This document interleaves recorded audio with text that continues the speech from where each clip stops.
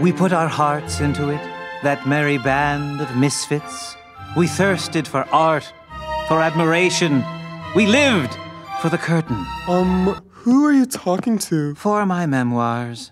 Okay, everybody, let's try the fireworks scene. And Sumo, you're doing great. Has someone let a wild coyote on stage?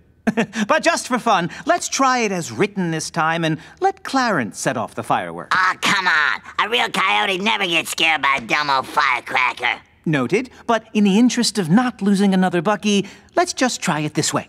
Oh, fine. No one's gonna see this play anyway. I'm a hungry coyote, hear me growl, cause it's eating time and I found me some chow. Well, Bucky, old pal, looks like we're probably gonna be, um, dead now. Um, Right. Wait!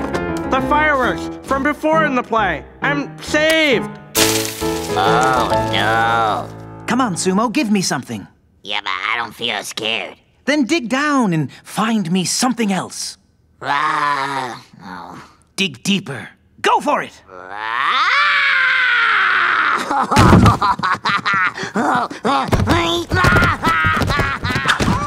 Brilliant! I don't understand it and it's perfect!